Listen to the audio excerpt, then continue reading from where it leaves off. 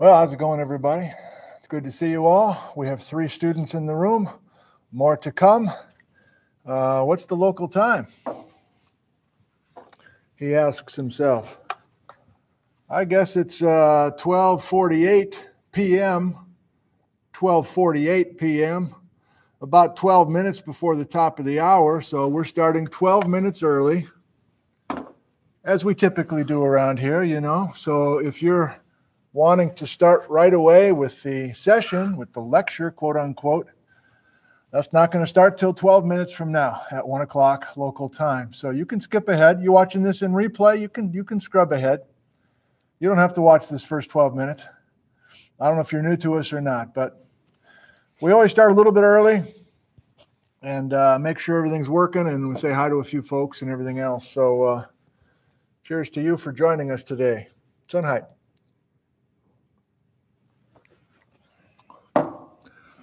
Well, let's see if we're communicating.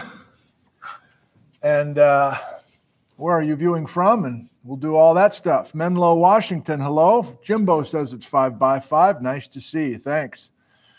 Sandstone guy in West Virginia. Uh, Dallesport, Oregon. Uh, too fast now. San Diego, California. I, I think I saw Bavaria, Germany there. Scroll by.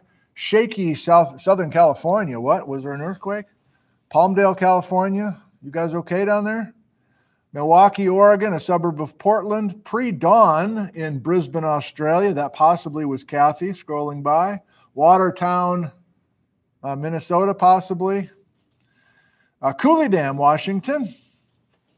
Rachel's in the Yakima Canyon. That's cool. It's a beautiful day. It's 60 degrees Fahrenheit, not a wisp of wind. Uh, it's it is springtime officially here. I think the wind's supposed to kick up later today, but man, um, beautiful. Uh, neighbor of Jerome in Nanaimo, British Columbia. That's that's that's uh, close to Jerome himself. Speaking of Kyle himself, there he is. What's up, Kyle? Uh, geologically speaking, hello, Todd. Really been enjoying your post lately. Um, Kyle's waving back at me, but Kyle, you know I'm talking into this camera. Everybody's getting used to the drill here. All right. Edmonton, Alberta. Uh, Scott says, yeah, well, it's 92 degrees Fahrenheit and climbing here in Phoenix. Okay, you win. Good job. Good job by you. Uh, who else we got? John Stockton's house. Okay, Randy. Uh, Sonora, California. Ontario, Canada. Trim, Ireland. Hello, Michael and Nee and uh, other family members. Midland, Ontario. Dayton, Ohio. SoCal in the house. Uh, Adam is in Hungary. What's the name of your town? Uh. Great to see you, Adam. Thank you for joining us. Bavaria is listening. Hello, Claudia. That sounds uh, exotic. Uh, Melbourne, Australia. Magpies are singing down there, down under. Santa Cruz, California. Hi, Linda. Oh, here we go. We got, uh, hey, hey, hey. Yeah, we got more trickling in. Good, good, good. Selfies in Zurich, Switzerland. Uh, Jim's in Eugene, Oregon. Uh, oh, Leslie and Jim. Yep, thank you. Sonora, Arkansas, Libby, Montana, Grants Pass, Oregon. Nice and slow now for me to be able to read. Okay, well, good. I'm glad we are. I'm glad we are functional. I'll try to stay out of your way. Uh, this is session two. Uh, we did uh, have an enjoyable uh, yes, day yesterday out in the field in the Vantage area, and I did uh, film uh, segments of it. I haven't had time to uh, even look at the footage, but I, I saw enough to see that it I did it okay. There's there's there's sound and there's picture. So sometime this weekend I will post that as kind of episode three. So I I, I think uh, I'll just keep this this number going. This is 351 session two and Video three will be this little short geology report from the Vantage area. And in it, you'll see if how to get there if you want to get there. Rachel's doing more housekeeping. All right, Rachel. Now we got we got more. Can, can I help you there? Is it sticky over there too? My God, yeah. Did you wait tables? What? All right. Um, uh, I just I just checked the mailbox and I, I found this. Thought you might enjoy it, especially if you're a, a veteran of the scene. So this is from uh, Cheryl in uh, Bonner's Ferry, who's uh, did a little bit of art, and uh, so thank you, Cheryl, for this.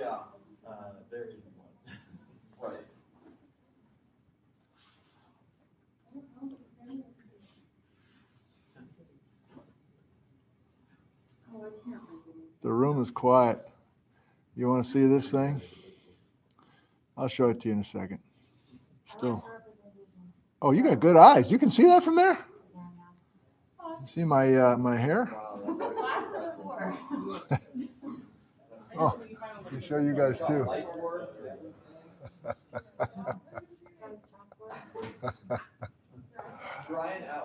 yeah, man. Yeah. No, we'll pass this around. Thank you, Cheryl.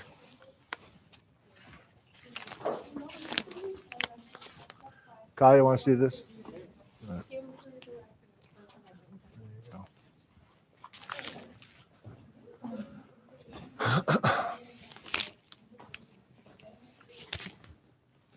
So thanks for joining us. We'll get started in just a couple of minutes, I suppose. I'm going to go chit chat with the students, especially those that were out with us yesterday.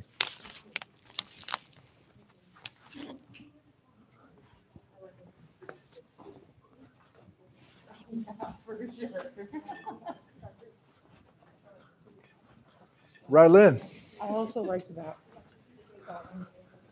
you guys stuck around, huh? Yeah, Can How you long? tell by their burns? yeah. Could you do you like my Oh sunburns? yeah. Oh, oh yeah, yeah. You were out there. Yeah, Yeah. Chris meat burritos. So you had the you had the fever, huh? You were really fine and stuff down there. No. you weren't. oh, but you were out. You had other kind of fever, fresh air fever, sun Oh, yeah. fever. Yeah, it was nice to be outside though. Good. How long did you stick around? Uh, I think we ended up finally getting out of there about five. Oh wow, really? Yeah, we were Nice. well Like just four. before five. Cool. Because by the time we were on that highway, it was. Oh, five good, good, good. It was nice to be outside. Oh, you're ready for action. That's good. We got some stuff going. Yeah, we man. tried to color co- code some things. So Mhm. Oh, look, you got right there. yeah, yeah, Oh, patriotic. Nice. yeah. Oh yeah. I was Okay. thinking for more of like the you know crust Yeah. toothpaste kind of thing. but- Did you get your uh, car fixed in the back yeah, already? it's gonna be back. Uh, it's gonna be done on Friday. Okay. I'll have that down. Oh, okay. All right. Logan, Yes, how's it going? doing well. How are you Good. this afternoon? Doing fine. Oh, you're looking at that. Yeah, nice.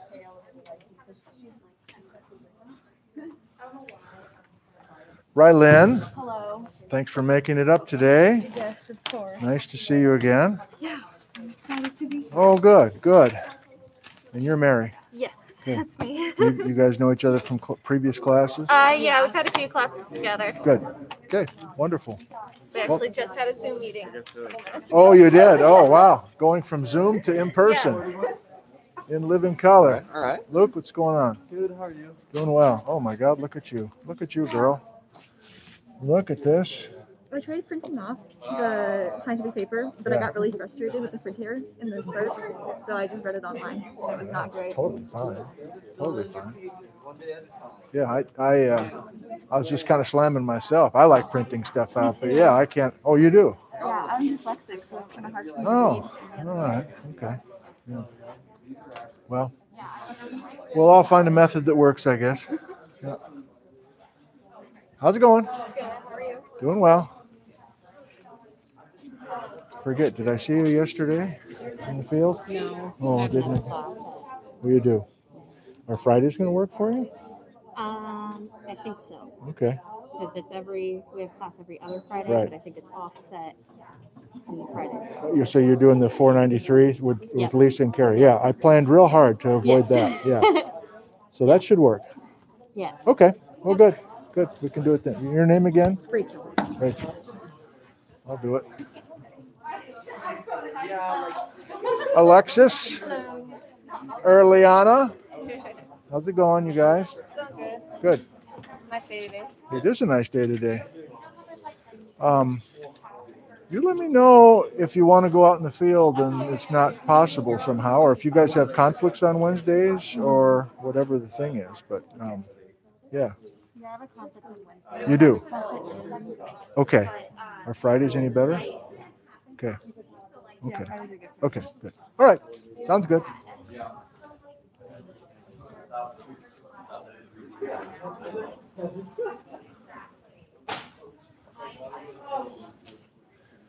Yeah, you can see the outline. I'm coming to you. I'm coming. To, I'm coming to you hot. I'm coming to you hot right away. Getting you ready mentally. Coming to you.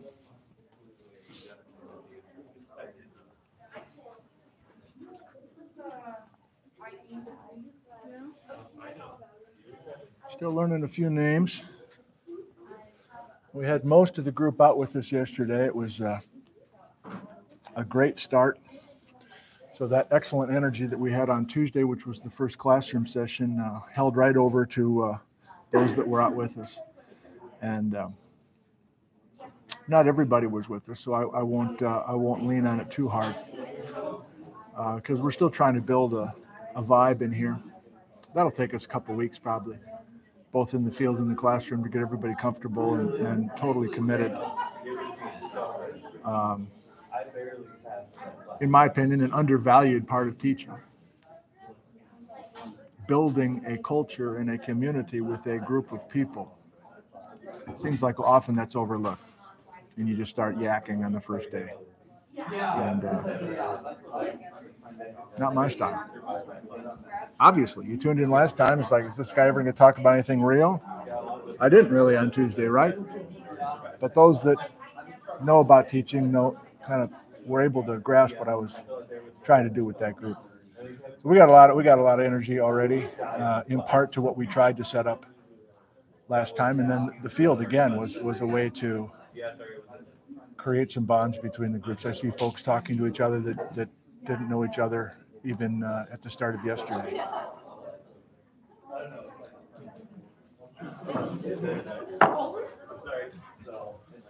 Are you okay? Can I get you anything? Can I get you some warm tea?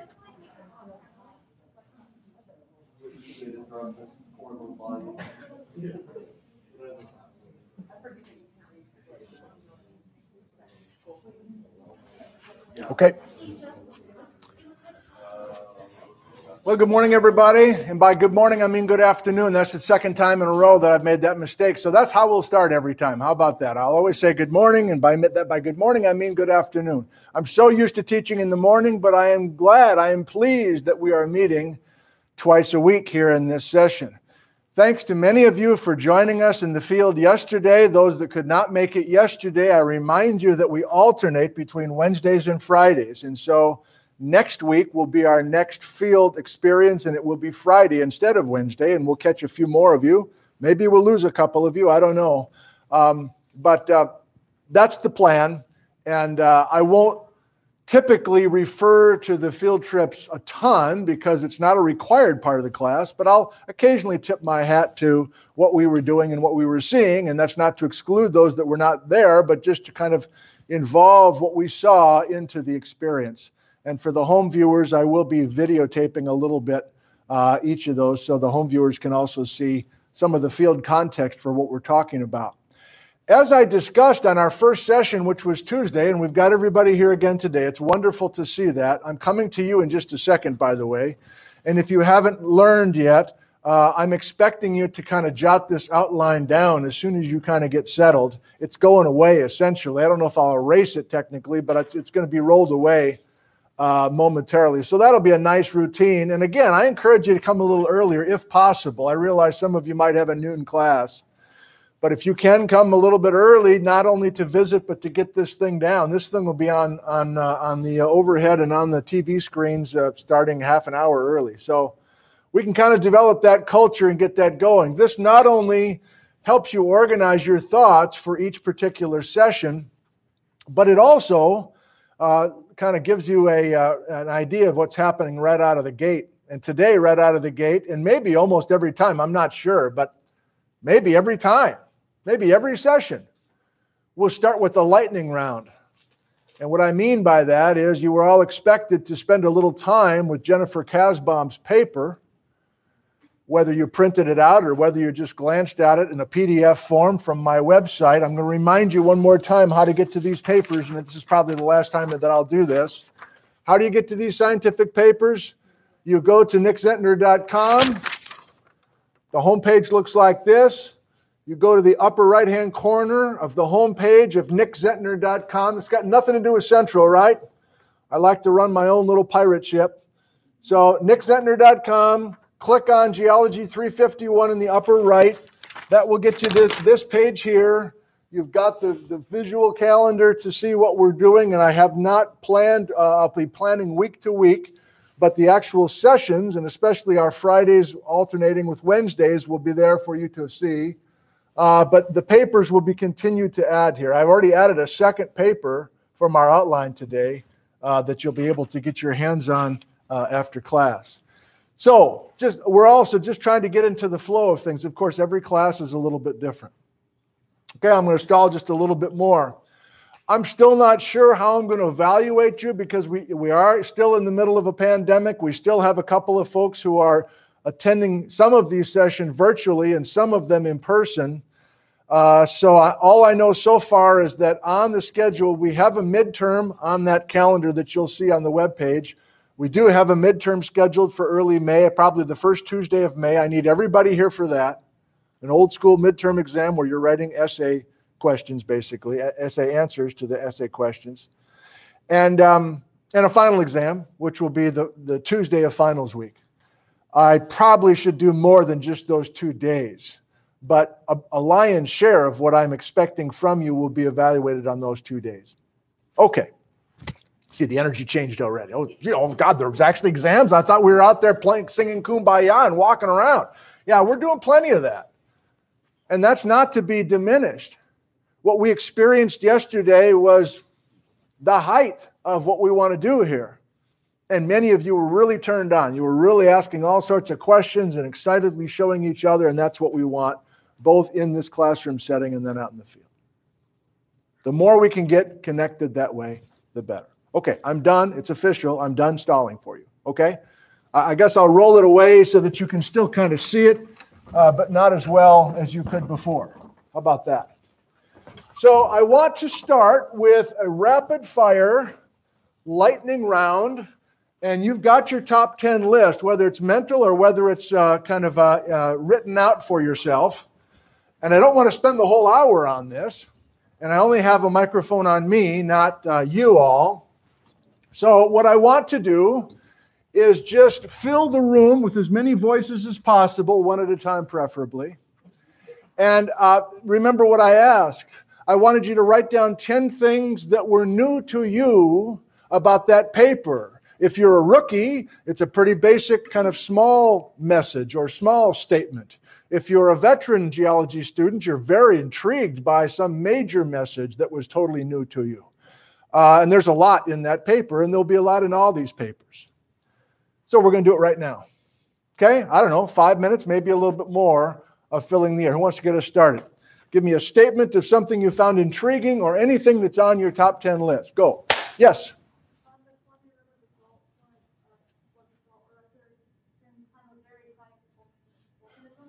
Volcanism, high, high rate of volcanism, an effusive rate or a flux rate, incredible amounts of mafic magma coming to the surface. Thanks. Let's keep going. Yeah. Kyle, Kyle says, uh, intrigued by the relationship apparently in this paper between this effusive rate of lots of mafic magma to the surface and an elevated carbon dioxide level uh, uh, globally. Uh,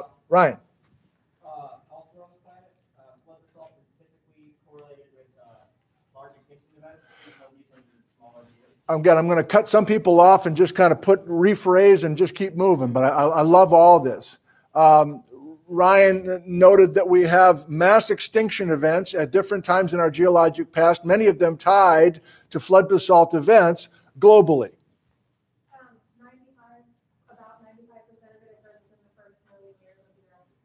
This is right from the abstract. About 95% of the total volume of the magma came out in the first million years? That was your phrase? Yes. Hayden? And that 95% came out in half the time that was previously stated. Well, I'm going to hit that one hard in just a second. You'll see what I'm about to do here. Uh, by the way, if this was a demoralizing experience, and it is for almost everybody, it's like, oh, I was I thought I was excited about this class, and now I'm like reading this sentence for the fourth time, and I still don't get it. I don't think this is even for me. What am I even doing? Maybe I should be, become a ceramics major. I'm in the wrong major. That's not what we want to do. We're practicing learning how to pick out certain things. And then my job as the ringleader is to build a narrative from all of these things and, and actually to say, well, some of that stuff's interesting, but we're not going to use it because I have particular goals that we talked about on Tuesday. Mary. Um, they weren't necessarily looking at the salt, volcanic, volcanic aspect of the So Jennifer Kasbohm, the uh, lead author in the paper, wasn't actually getting precise dates from the basalts. She was getting stuff from, what did you say? the volcanic aspect. volcanic ash beds that are between the basalt layers. And yesterday, you know what I mean? Not everybody was there. Yesterday, we were between two lava flows, two basalt flows. There was nothing. It was naked, baby. It was bare naked between those two lava flows. But as I said over and over and over again out there, probably too often, there are usually some ash beds or sediment horizons. Bryce was collecting some of it uh, that is between those basalt horizons. A few more, and we're done with this. Tim. I was gonna say it's along the same lines, but the use of a sampling strategy that allowed for UV geochronology of zircon crystals in an otherwise low zircon and silica environment. So we are going to get to the word zircon. We are going to get to a, a dating method called uranium lead. And that's me coming in just a second. Tim locked on that. A couple more, a couple other new voices. Uh, uh, Colton, I'm sorry if I don't have everybody's name yet. I just got some. Don't don't don't be uh, um, uh, offended. Colton. The uh, magnetic zircons were found in multiple different interflow lithologies, not just a single different one across the whole area.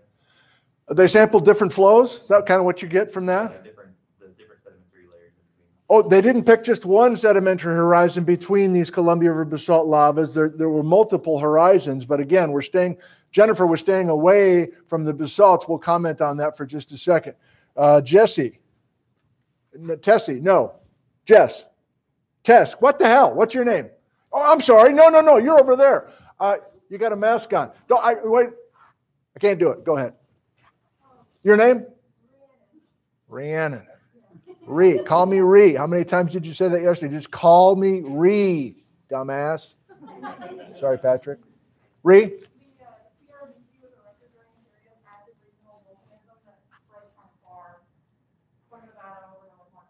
Oh, this is more of a Washington. This is more than just a Washington story. Ree is picking up on the fact this is a regional story that has regional implications. And yes, we'll hit that pretty hard too. Three more. Luke. Uh, they didn't identify any significant hiatuses between eruptions. So there's no more than like two hundred thousand years between each two samples. Uh, the, the, the time between eruptions, they were uh, significant, like intermittent, intermittent times between them. Yes, not this. It's not a. It's not an on-off switch on this system. Uh, there's variability and still some questions, still some uncertainty about how much time is elapsing between lavas. This is perfect. This is just what I'm after. Two more and we're done. Preferably new voices who haven't spoken yet. Uh, Matthew, Uh, looking at figure four, this is more something I was a little confused and like. it's okay. Let's go for it. Um, it, it was kind of confusing. Why didn't they like correlate, not correlate, but line up the magmatic or the, the reversals Yep. and the polarity with the dates and the measured, uh, reversals of polarity in the field earlier versus doing it now? Sure. 2021. Let me help with that. So, so, so there's lots in there that we will de-emphasize in just a second. One of them is the the magnetic reversal history of our planet. Did you catch that?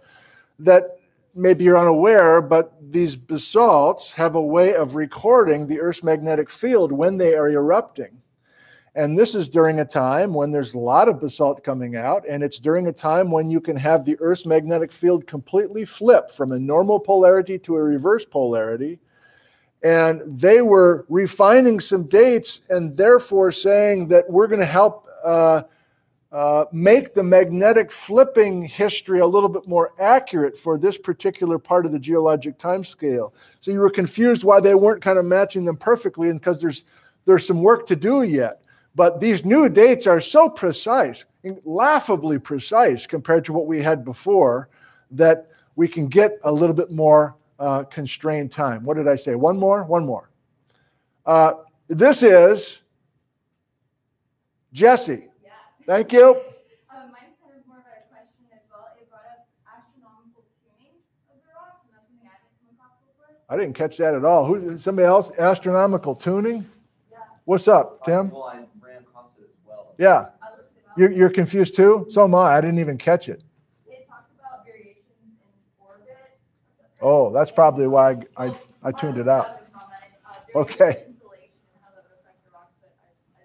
Wow. Okay. Yeah. Beyond me, I, I, I was so tuned out of that that I just uh, went on to the next whatever. Last comment, and then we'll come to my part of it. So thank you. Perfectly done. We'll do this, I think, almost every time. I'll be assigning a paper for Tuesday, and you're like, this is a three credit class. I'm not reading a scientific paper twice a week. You're right, you're not. Do you remember the approach that I suggested? We're not reading every sentence. I mean, that was how I approached reading a scientific paper, but quite often that's the end of it. Maybe you assume that that was just like to get, clear my throat and get ready, and then I like read for five more hours and I read every freaking word. Uh uh Only if I'm totally invested in learning what I can from that particular author. There'll be a couple like that.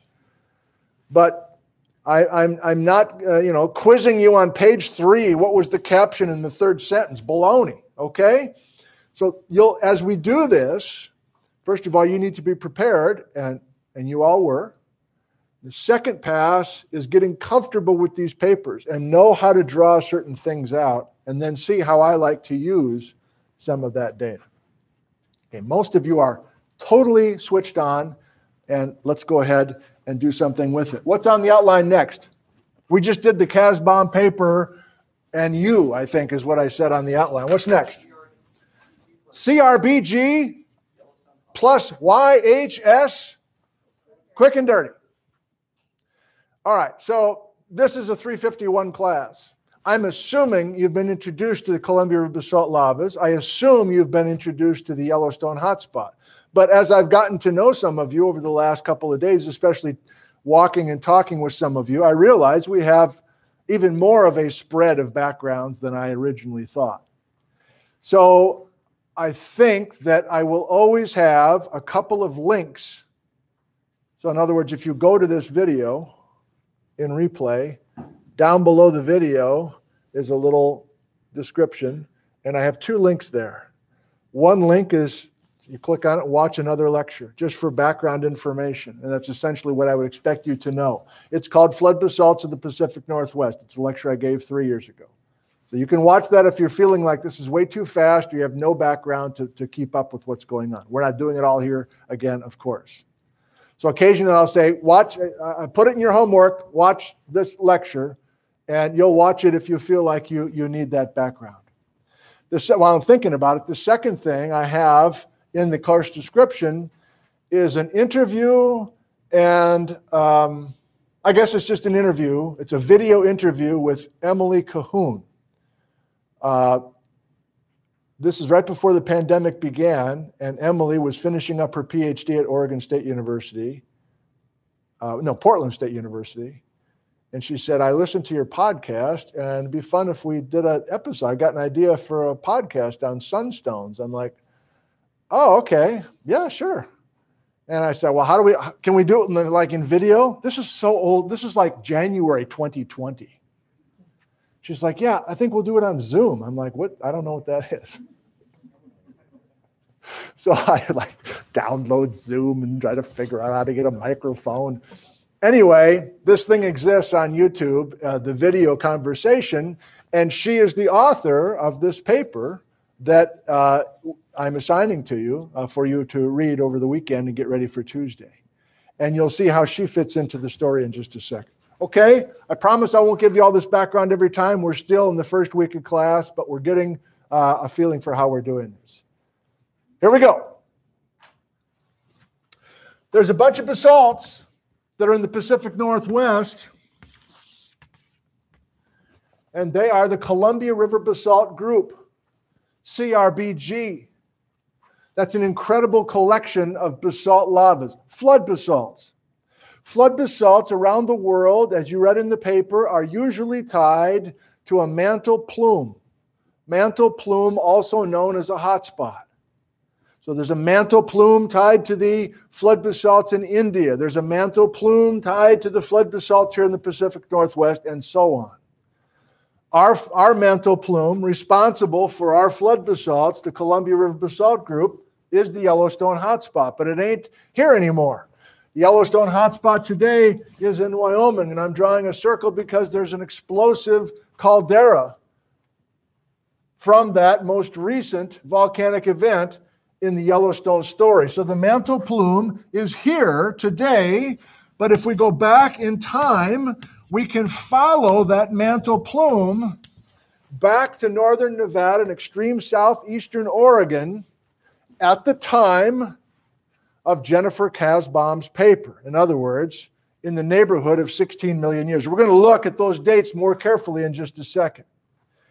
And you're like, well, wait a minute. What are these things? These are calderas. Calderas are tied to rhyolites or felsic or silicic events.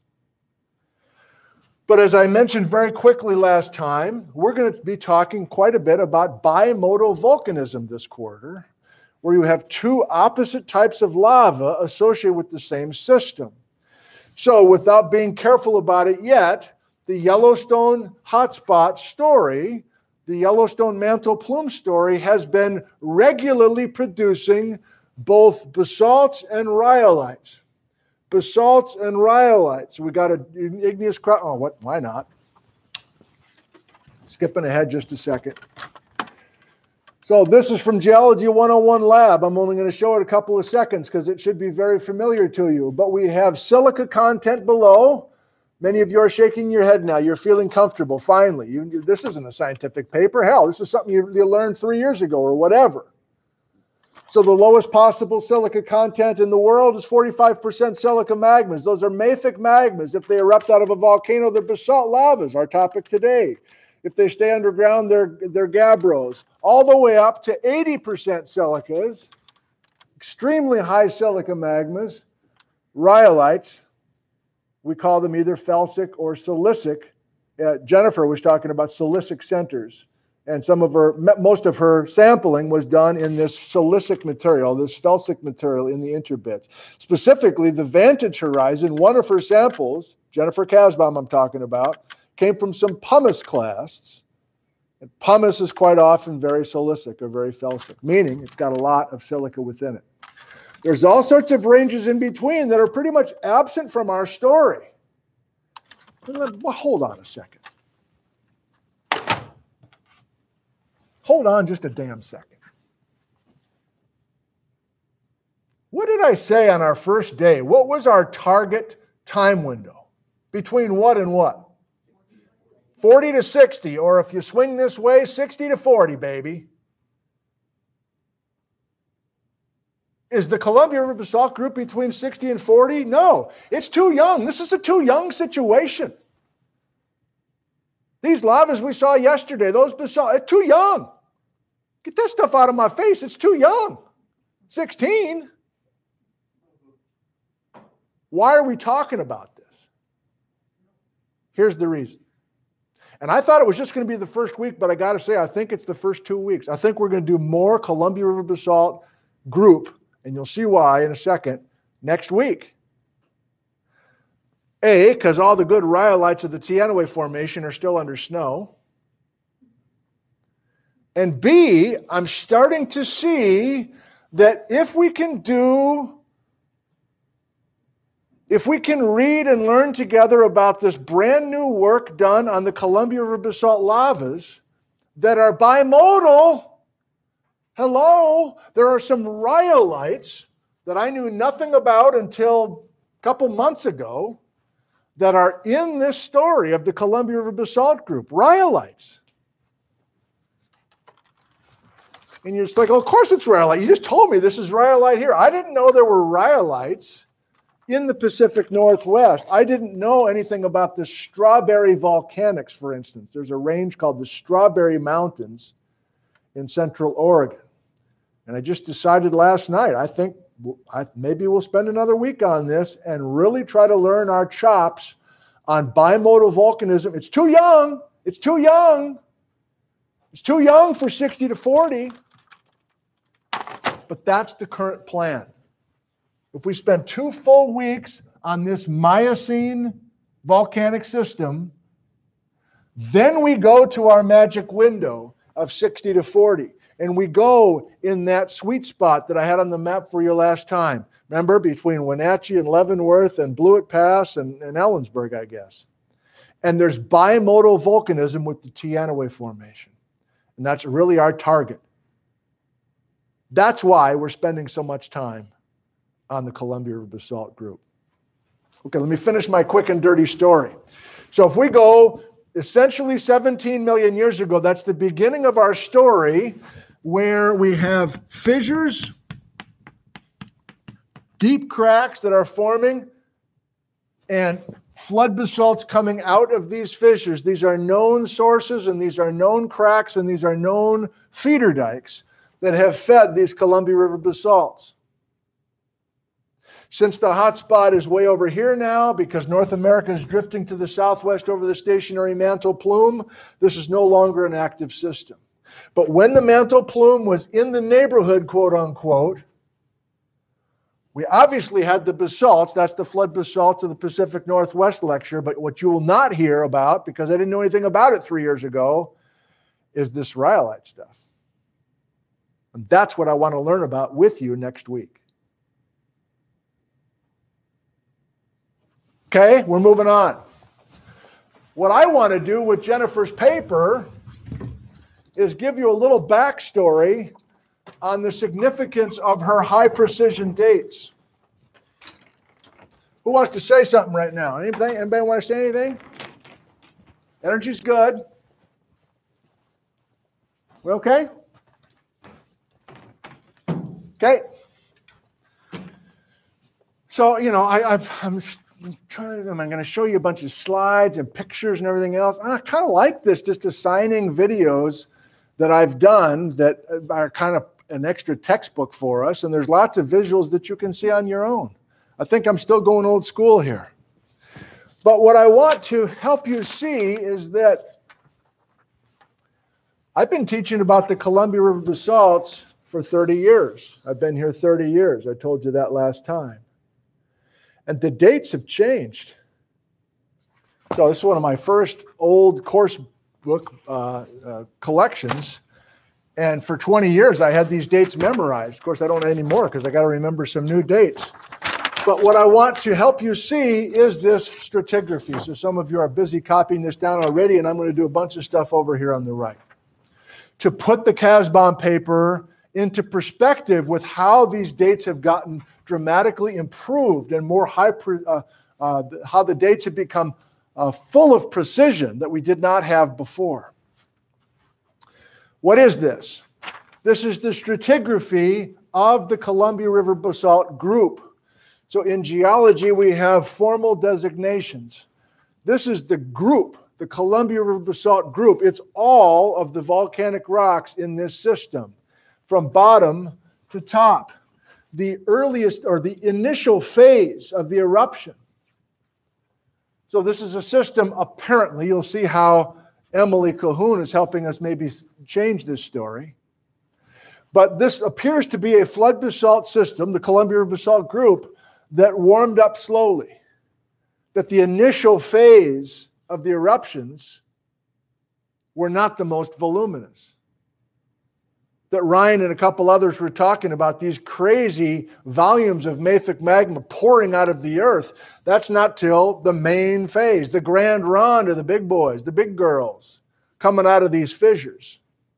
And then there is a waning phase as well. So these five names are subdivisions within this group. We call these subdivisions formations with a capital F. So this is just a little bit of nomenclature, which I assume you've had before if you've been in geology classes uh, for much of your career with us. You can take a group subdivided into formations the Wanapum Formation, the Grand Ronde Formation, the Steens Formation. In each formation, and this is if you'll if you'll re- reread Kasbohm, you'll see her designating it this way. So the five formations are broken into smaller units yet called members.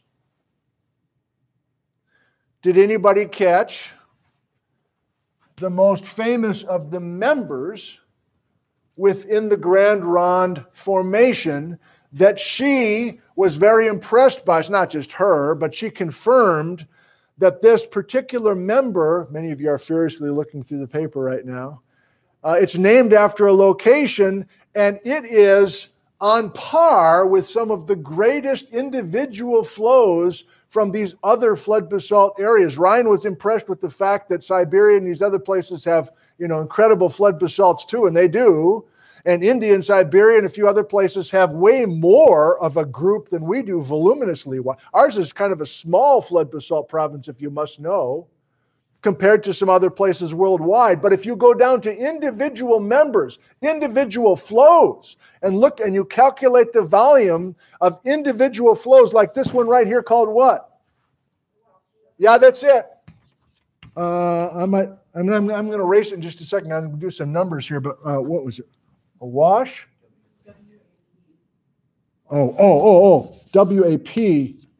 Shilla. Thank you, Rachel the Wapshilla Ridge. I don't know where the Wap. Oh, you know what I did an hour ago? Alexa, where's the Wapshilla Ridge? She's like, the Wapshilla Ridge is on Uranus. I'm like, Alexa, where's my anus? She said, You'll have to figure that one out. Okay. It's a ridge over in the Hells Canyon area on the Idaho side of the Snake River. And many of you know that we have, a, again, a tradition of naming uh, members or even formations after places where they are best exposed or sometimes first exposed, uh, first studied. So there's a Grand Ronde River Canyon that shows many of these Grand Ronde flows. But it is this Wap- Wapshilla Ridge member that's a monster. And it's just one of dozens and dozens. And if you read the fine print, I think there are in, up to dozens of flows just within a member. So you can get more than, th- you do get more than 300 of these individual flows making up this incredible German chocolate cake here from top to bottom. Okay, let's get to what I want to do really. So this is going away. And again, if you got something that you were fascinated by or you feel like I'm skimming over that was super interesting to you, by all means, um, so when I first started teaching the Columbia River basalts, I used the best dates I could. I had these five formation names. That that hasn't changed. That's still with us. That was in in Jennifer's paper, right? The colors on the map and everything else. But my initial dates that I would commit to memory and teach with my eyes closed in millions of years Oh, I'm getting nostalgic now. I haven't used those numbers in a long, long time, probably more than 20 years. Back in the 90s, when I was teaching Columbia River basalts, I'm saying, you know, this, this whole system started 17.5 million years ago. These are the old dates. These are potassium argon dates.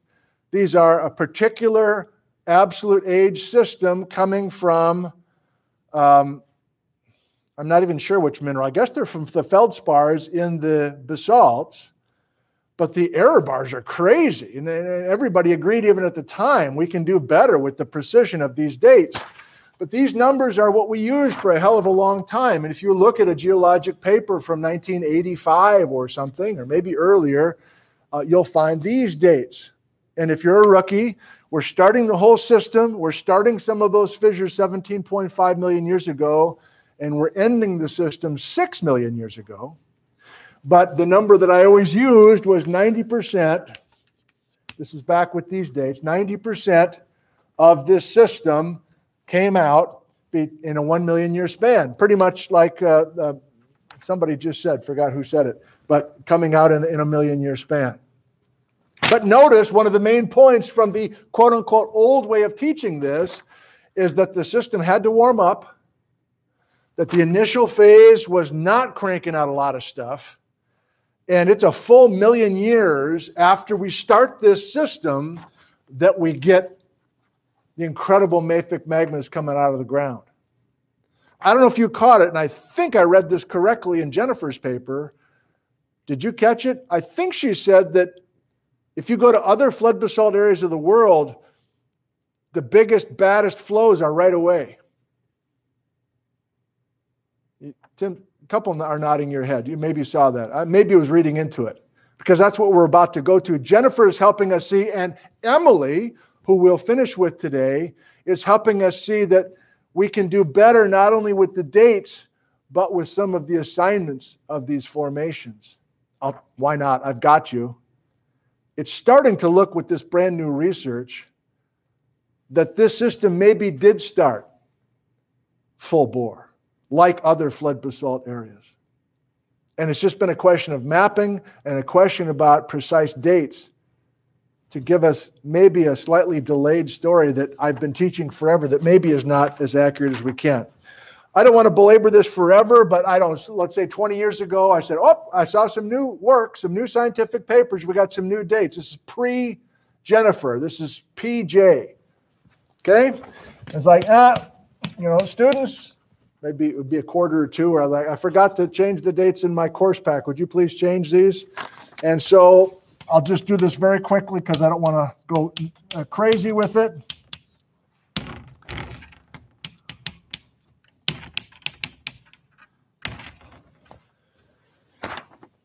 But now a slightly better dating technique using two isotopes of argon.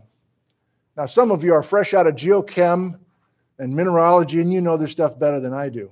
I don't know much about geochronology, and I've, I've, I've never got samples run through a, a system like we have upstairs. So some of you are ahead of me, maybe most. But this argon-argon dating using isotope 40 of argon, then uh, with a ratio to argon 30, 39, gave us slightly more precise dates. Still with some error. And you're like, come on, it doesn't change the story that much. Well,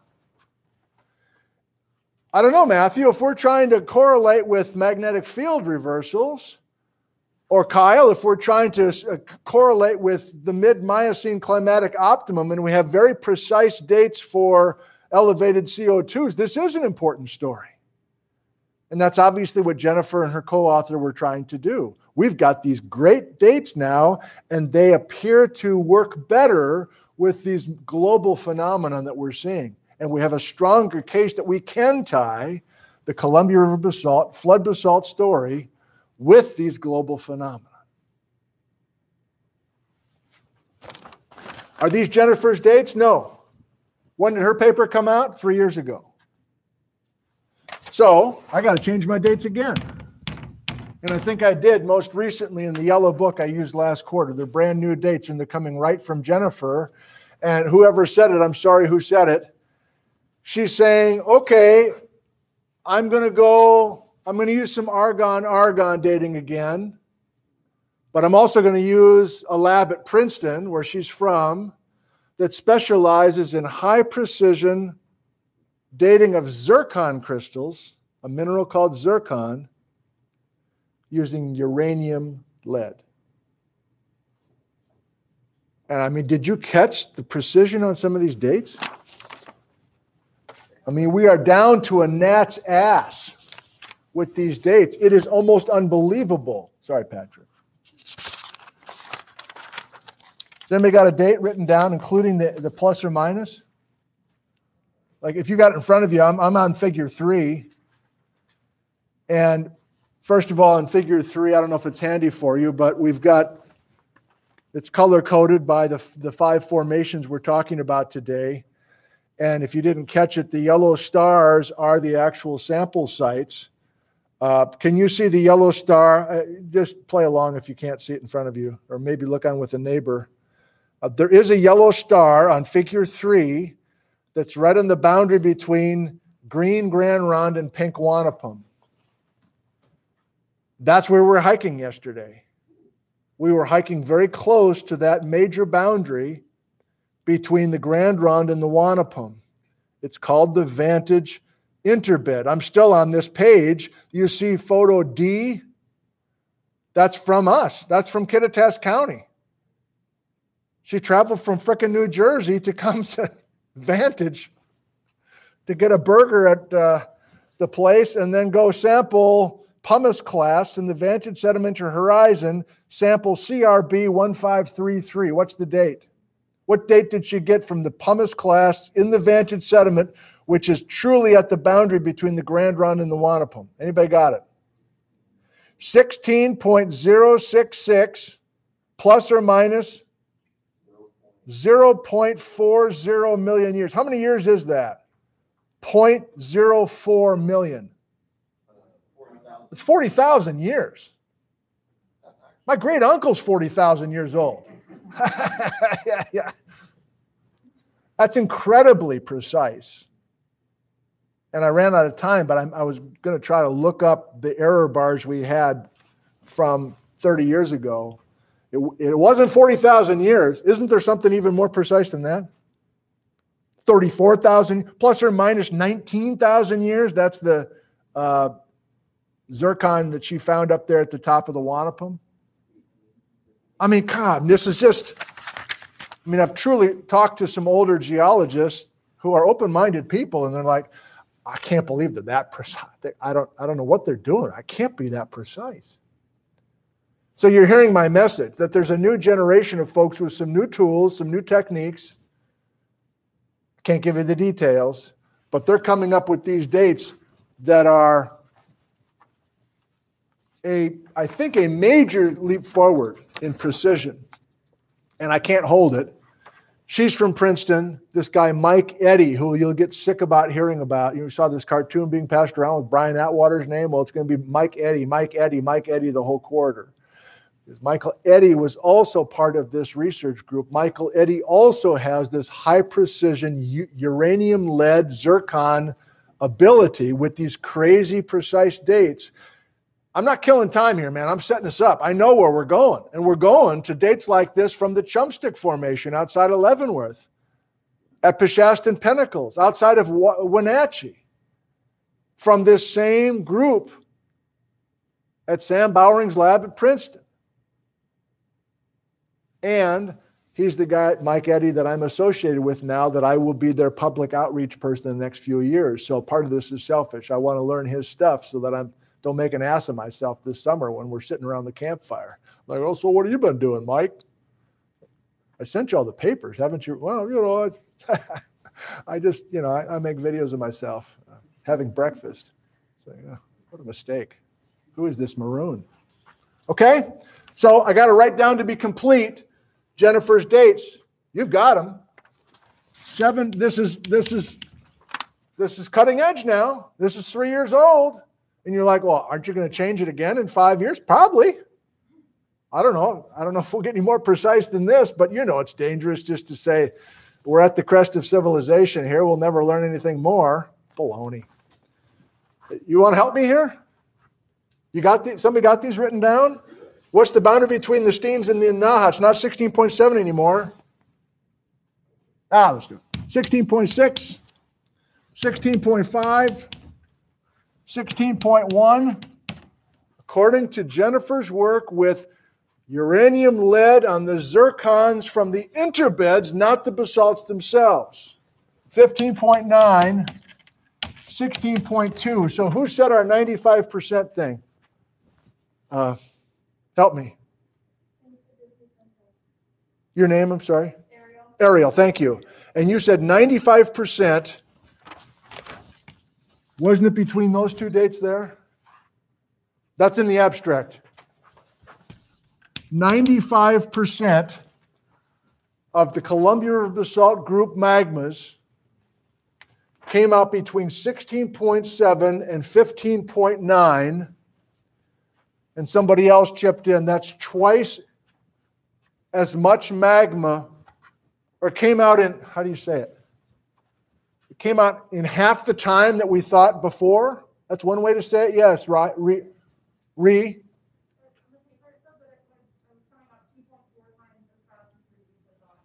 the, the magma, the mafic magma of this system in this uh, time window came out 2.5 times as fast as previously thought.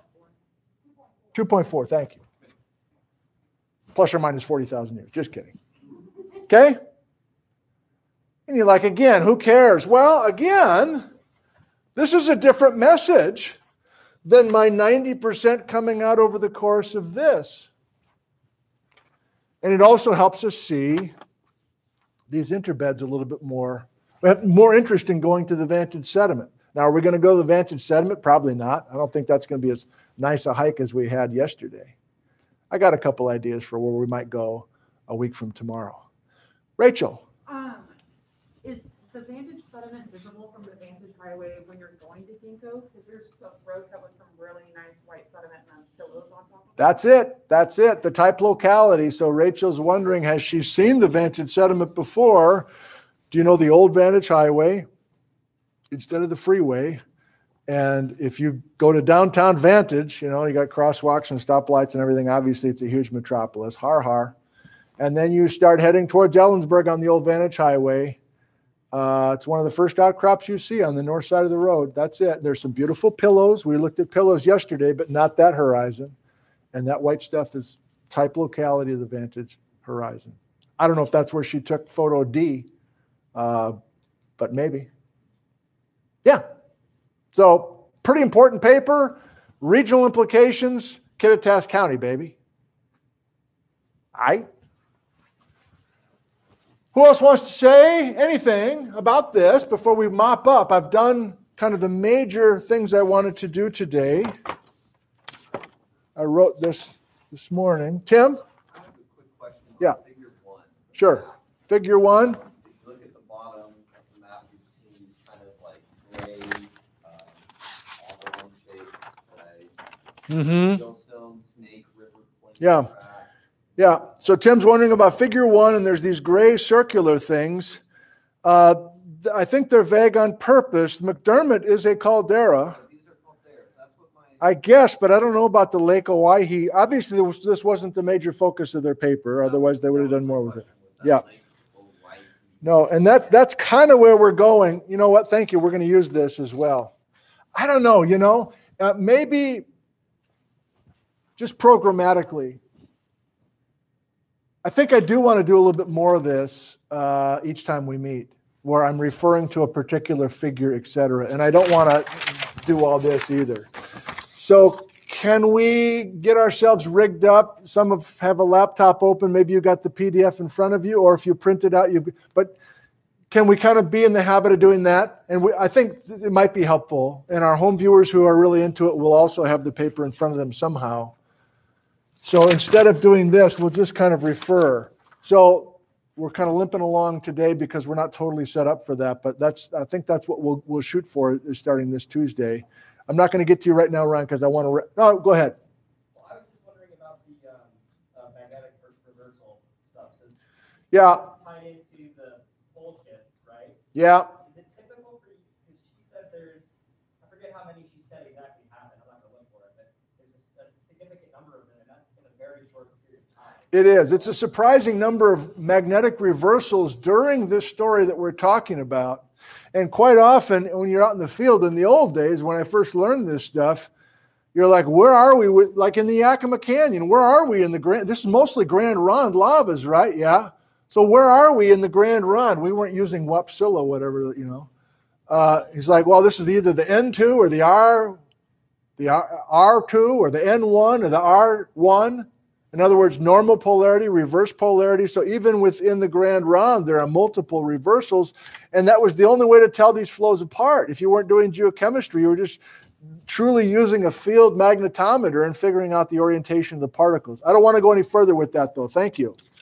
Um, so I want to not only address Tim's thing, but set us up with the last three minutes with Emily Cahoon. Okay. So on the, I just said I wasn't going to do this. Now I am, I guess. So on this map, there are these gray areas. which I need to learn more about. That's what Tim is asking about. We know the five colors are our basalts. There's some rhyolites down here in Oregon that are part of this Columbia River basalt story. And that's where we're going next week. We're going to Oregon, not really. We're going mentally to Oregon. And a first step to go to Oregon is to go to the other paper that's on your outline. This is the gal that introduced me to Zoom and we did the video podcast. It's also an audio podcast as well. So if you go to the website, it's there now. The paper is called Reshuffling the Columbia River Basalt Chronology Picture Gorge Basalt, the earliest and longest erupting formation. It's a short paper, same idea. What am I expecting you to do? Read the abstract twice, print the thing out if you want, red pen if you want. Okay, we got more maps, but I'll give you a sneak peek. Emily's still dealing with basalt. Emily Cahoon is still dealing with basalt. But she's realizing, oh God, I gotta find the, I gotta find my note. Oh, oh, oh, oh, oh, oh, daddy can't find his notes. Oh boy. It's a half sheet of paper. I gotta go to her paper, I guess, because I can't find my notes. The Picture Gorge basalts. There's a place called Picture Gorge. It's near John Day, Oregon. The Picture Gorge basalts up until recently, have been put in with the Grand Ronde. So they're not included in our five formation things because it's kind of a local story. I'd heard about the picture Gorge basalt, didn't know what to do with them really. Emily was working with the picture Gorge basalts and dating the ground mass. So some of you from Rocks and Minerals remember that you have a volcanic rock like a basalt, you have phenocryst, the big vis- visible feldspars or something like that, and then you've got all the really microscopic minerals that you can't see with the naked eye. That's the background, that's the matrix, that's the ground mass. As you'll see in the video podcast, she talked carefully about getting dates from the ground mass, which are a little bit more accurate than getting dates from the phenocryst or the actual feldspar crystals within the picture gorge basalts. Wait for it, wait for it, because daddy can't find his notes. Awkward silence. Daddy, what what is what what? She has a surprising a surprisingly large age range just from the Picture Gorge basalts in central Oregon. Her oldest, I'm getting excited, I'm getting chills. Her oldest, this is where we'll start on Tuesday, her oldest Picture Gorge basalt, 17.25 million.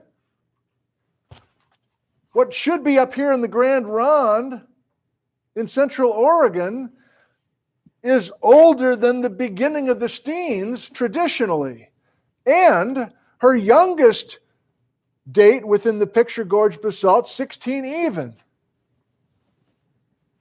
So if we're using Jennifer, which, uh, the old days, back when Jennifer wrote her paper in 2018, we had the end of the Grand Ronde at 16.1. Again, you'll see in the paper, Emily Cahoon has brand new work saying that we have lavas, basalts in central Oregon that started erupting before the beginning of the traditional Steen story and going all the way up to 16.0 million years ago in the Wanapum story.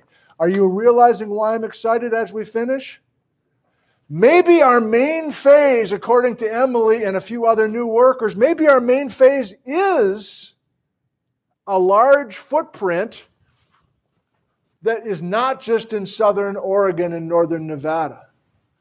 That's how we'll finish. Give me two more minutes.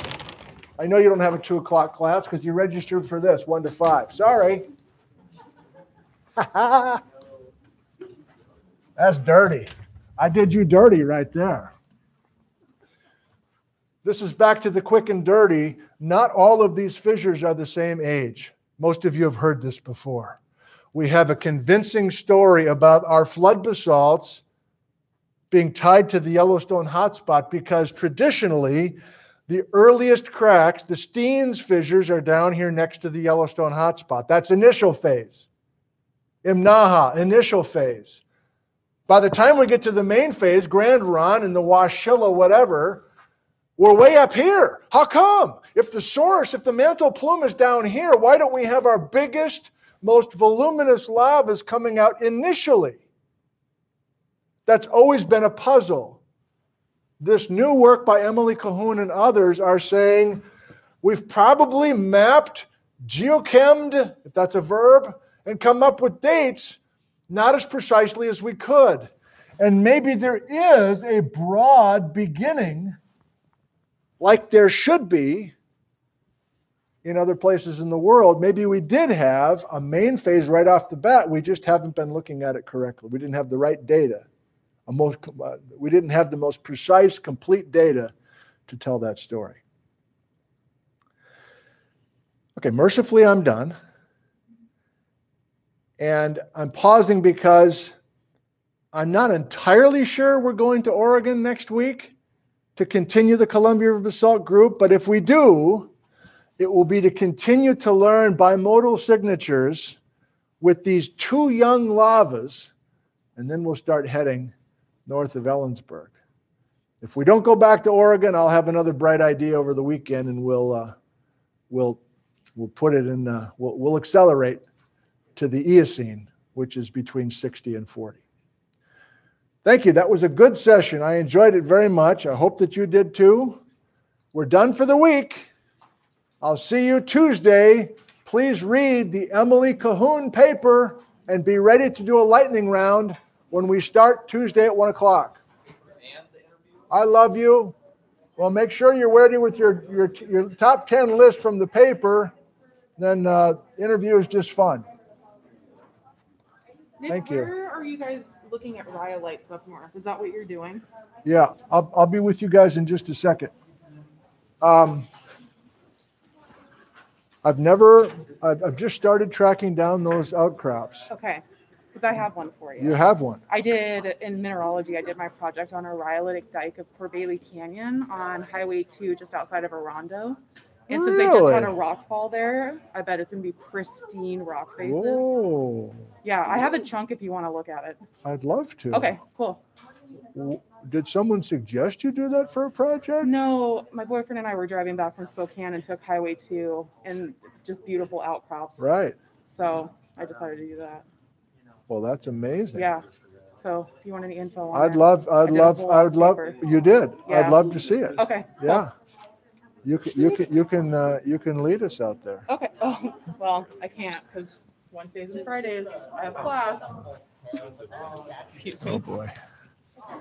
Um, two things. One was just a curiosity Yeah. question, but uh, or well, the first one was I'm curious about the Eddie paper. Yeah. Eventually, when we get to it, because Yeah. I think I might have read that for my mineralogy class when I was first given my sample of sandstone from the Swauk. Well, maybe so. You know, Chris So- Mattinson was kind of uh, into the exotic terrain stuff that we were doing before Christmas. So maybe he got fired up enough to, to do some reading in that class. Yeah, so I don't know. It, it- well, the name is there. It's Yeah. Eddie, and I've used it for my mineral class. Yeah. So I'm just curious. But Okay. anyway, the second one I was saying Yeah. is in the reading here, it was Right. something that said that in the introduction that Columbia River CBRGs Right. are the youngest, most well preserved of these flood basalts that we really know and work with. Yes. So you know, I was kind of wondering. You know, it stated that these other ones, like the Deccan traps, the Siberian traps, Right. you said that they start with an initial, an initial phase. Of I guess, production. yeah. I was gonna say like, again, I haven't read anything Right. about them. I would have Right. to go do it. But it seems interesting to me that we're taking information from older, maybe not as well precise or as well preserved Right. floods, Right. and applying the same kind of thinking to this one, which is rather preserved. But again, I got to read this paper and see maybe the different ordering. It is suggesting that that does start out really. You know, it, really- it, it- I see what you're saying. And in general, you know, you do try to compare with context. You try Mhm. to get other global examples, but Mhm. O- of course you, you you just work with the evidence you've got. Right. And I think it is accurate to say that our precision is, I'm guessing, significantly Mhm. higher in precision than other places. Gotcha. And so, it may be just a question of applying this, this new technique to those other places. yeah, it might be cool to see like, you know, Right. how, what we take from here and how we can learn from those, Yeah. apply to those spots. Very good, cool, Tim. awesome. Okay, thank you, man. Josh gets the zircon dating now. Right. Yeah.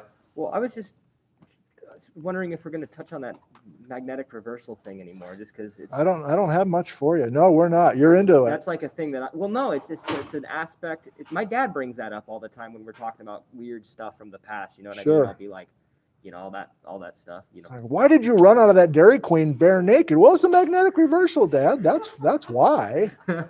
Okay, I hear you. I don't. Yeah. So I was just hoping maybe I could like, because I don't know how often they're supposed to happen generally, but I know they've happened multiple. I'll tell you what. I, I'm going to go visit with the home crowd. Okay. Go right now, past the intro lab room. Right. You'll see a huge Intro poster of on that side of the hallway, right? yeah, man. Right hand side. Okay. Yeah. There's a big geologic timescale poster. Okay. Look carefully at it, and there's a big bar scale, black and white stripes. That's it. It's Okay. graphically there for you. Okay. So that's a first step. No problem. Hayden, For you as well. Also like coastal basalt coastal. in uh, Oregon down by like Tillamook. I don't know, are those still part of the Columbia flood basalt? Some of them are, but some of them are part of the Siletzia story that we're heading towards with our target window. Um, so it depends specifically where you are on the Oregon coast, and I'm probably not going to know unless you have a particular spot. Around Tillamook, uh, um, most famously, there's some Tillamook volcanics that are Eocene that are that are between 60 and 40. Uh, but I, I'm, I'm learning right along with everybody else. What's special about Tillamook for you? Uh, well, just, you know, grandparents have a big Okay. Yeah, that- A lot of time there. That works. Yep. But, uh, yeah, recently I just noticed there's a bunch of either pillows or bright cast bombs. Yes. Sitting there. Yes. They'll wash up on the beach and you'll find them. Right. So, so I, um, like Seal Rock, if you know that, that's for Sir Columbia Basalt Group.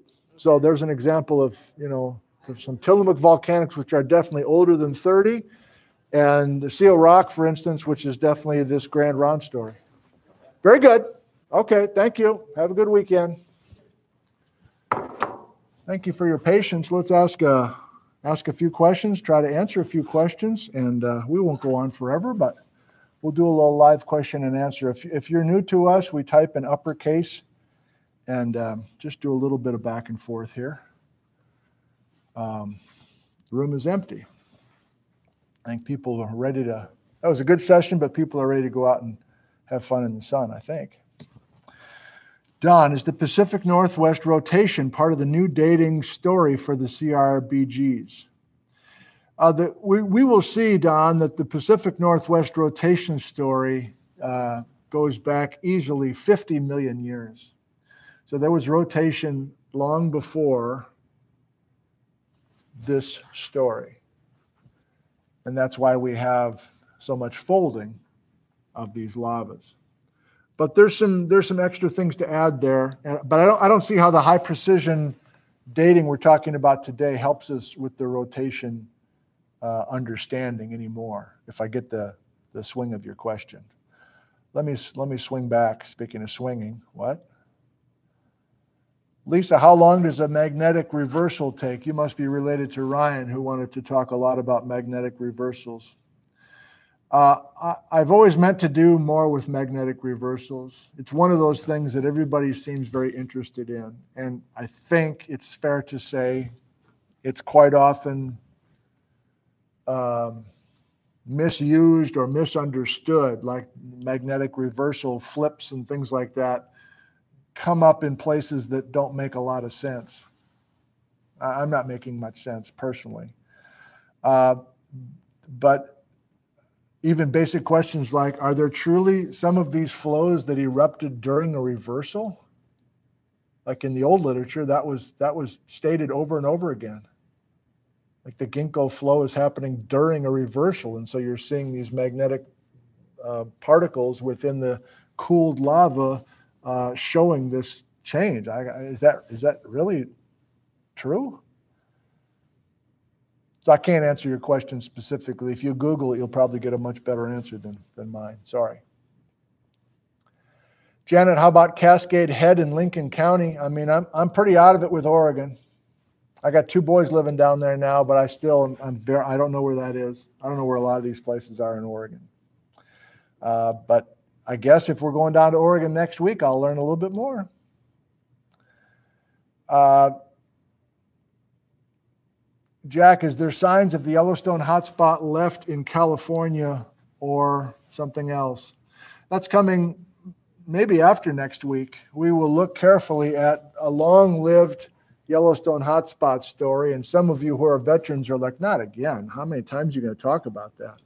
Well, if you haven't picked up on it yet, I'm trying to learn new things. And so, even though there are some themes that will be familiar to us, I will have some some new uh, uh, tidbits from some of these papers, etc.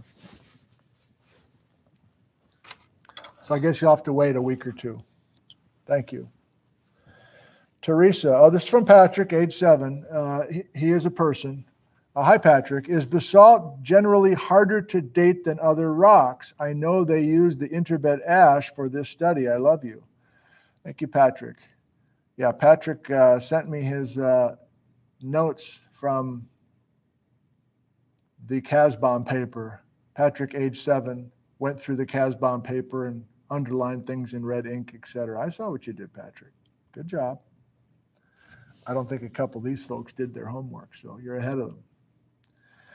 Um, I, I, don't have a good answer for you, Patrick. Um, most, some of the most precise dates come from events that happen instantaneously, like a volcanic ash. You know, volcanic ash, Patrick, erupts and then all the ash falls out of the sky. And then it's such a quick event that you can sample that ash and the chemistry is correct to get some rather precise dates. And if it's young enough, Patrick, there's other ways to cross check those ages. Like you've got some living trees nearby or some charcoal layer, or you can get carbon 14 dates on some things. So is basalt typically a hard thing to date? Not according to Emily Cahoon, who was working with those teeny tiny crystals inside of the picture gorge basalts, but that's where my background stops. Thanks for the question. Still kind of hunting around here between live and, and not live. Uh, BH uh, Curly, is it me or are many of these fissures not far from the old North American coast? Uh, it's not just you. Some that know the exotic terrain story know that we have a rather abrupt craton edge here. So uh, that's not your imagination. It's a question of how much you want to attribute to that. You know, if you have magmas coming to the surface, again, I'm no geochemist, but the thickness and the chemistry of old basement rock of North America's craton is significantly different than the basement rock of some of these exotic terrains, some that have an ocean island history, some that have a Mexico history. And so, of course, you're influencing the chemistry of your magma as it eats its way up through stuff either uh, west or east of this strontium 706 line. So it is a significant observation. Nice job. Um, B, B loves science. All fissures always same direction. Is this the case north to south? Why is that? And generally, the, the fissures are kind of as I draw them here. There's a little bit of variation, but in general, it's this story. Um, why are they oriented parallel to each other? Well, that's a surprisingly difficult answer. I've thought a fair amount about this, and I've I've emailed with a few geologists, Steve Reidel, particular in Tri Cities. I don't want to go too much with this. It's a good question. Apparently, these fissures did not. Okay, so here's some breaking news. You know, this is all about teaching and choices that you make. I've always simply chose to say these fissures are opening up and the lavas are coming out. But if you talk to some folks who've been carefully studying this, they're saying that there's a fabric, or in other words, there's a set of fractures that are already in the bedrock before 20 million years ago due to major plate tectonic interactions And so the, the message is these are all parallel to each other because there's a parallel set of cracks that predate the flood basalts that are kind of from obliquely subducting an ocean plate and kind of wrenching and cracking. In other words, more regional story. And then the novel idea to me, and I got from Steve Reidel, is that these lavas are just taking advantage of those cracks that are already there. I don't know if I'm making any sense, but and then you go, well, why? Why are they all parallel 30 million years ago? And I, I don't have a good answer for you. Uh, Lethal Lee says the Steens flow has a magnetic reversal flip. Yeah, I think that was in the paper, wasn't it? Jennifer's paper? Some of you probably read Jennifer's paper much more carefully than I did. And to that, I should give you a cupcake or something. Do I have any treats for you? I guess I don't. A couple more, and I guess we'll quit. I think I'm going to go sit out in the sun for a while. Uh, we're getting there with this group. I was a little. Um, some of the people that didn't come on the field trip were the same people that kind of have a dead look in their eye today. So I'm uh, I'm going to keep my eye on them, see if I can get them. Sometimes you can't get everybody, you know. There's many reasons why you can't get students. Uh, I'll get as many as I can. I got probably 60% of them totally into the class at the moment. And once you get them, you pretty much got them for the quarter from experience. Two more. Is the, uh, the device nine, is the volume of magma limited only by proximity to the heat source? Can it run dry? Yeah, I don't know. Um, there's some Karin Sigloch contributions now where clearly we have, oh, I'm giving away next week's material, I guess. There's geophysics now to, to, to help us see that this mantle plume is a thing. It's not a figment of everybody's imagination. For a while, it was unclear, but now we now have tomography to, to show that, that mantle plume. Okay, well, that's, that's a statement. But then is there a, a, broad head to the plume? Can the plume kind of drift on the underside of a lithospheric block? And I don't know how much we'll get into that in this class, but sometimes you have magmas that are two states away that maybe you can make a case are from the mantle plume. And in that case, you can transport some of that heat. I, I don't know. So, however you worded your question, maybe that was kind of a half answer.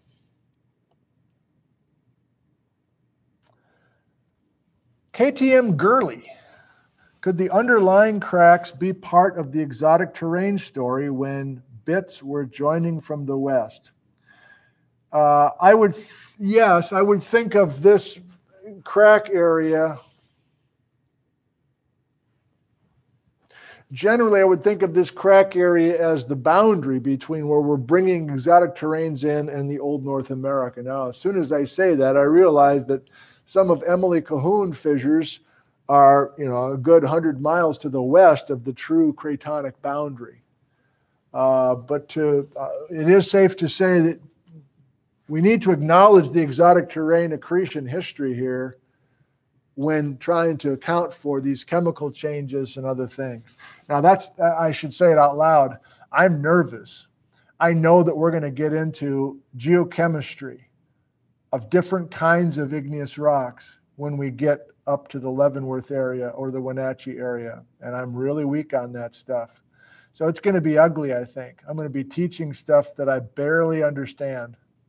And that's always scary as an instructor but there's always chance for tremendous growth at the same time. So got to be willing to look like an idiot. And that hasn't been a problem so far. there's plenty of examples of that. A toast to you.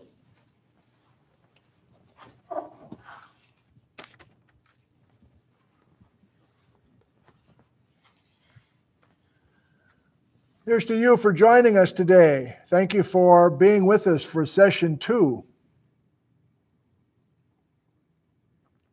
Here's to your health. I regularly watch Dr. John Campbell from England, a retired nurse, as I understand it, and he makes videos every day um, every day. I don't know how this guy does it, talking about the virus and reading science papers and trying to communicate as carefully as he can. And he is a trusted voice. And I think I saw his video today where he said there's new rounds of lockdowns in Europe. I just, I'm sorry that that's the case. If you're in France or Spain or Hungary, I, uh, I was very surprised to, to, I guess, learn that many of you are entering another round of lockdowns, or maybe you're like, wake up, man, I've already been in a lockdown. I've been in Scotland, I've been in lockdown since January 1st or whatever. It feels so different here at the moment. So it's it's it's difficult for some of us to remember that many of you are still in this incredible lockdown story. So I'm sorry about that. And let's hope we can outpace this spread with more vaccine. Thank you. Here's to you.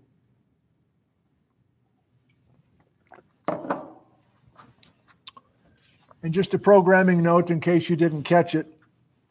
Uh, we did go out on a field trip yesterday. I did use the gizmo. Uh, I filmed here and there. Uh, I'm not going to be fancy with editing. I never am, but I'll, I'll, you know, I'll remove half of it probably, and I'm guessing the video will be 10 to 15 minutes. Just a nice little kind of visual of uh, some of these CRBGs, um, and to give you a sense of the vantage area. And in that video, you'll see um, how to get there and how to visit where we filmed if you're interested in doing so. And thanks for playing by the rules. I hope you understand. We haven't had any townies in the classroom, and we didn't have any townies try to crash the party yesterday. So thank you. It's mostly a health thing at this point. So I, appreciate your willingness to stay away, at least for the month of April here. Okay, that's enough for today. Thank you for joining us. I love you, and we'll see you on Tuesday live, and we'll see you in field video form sometime this weekend. Happy Easter.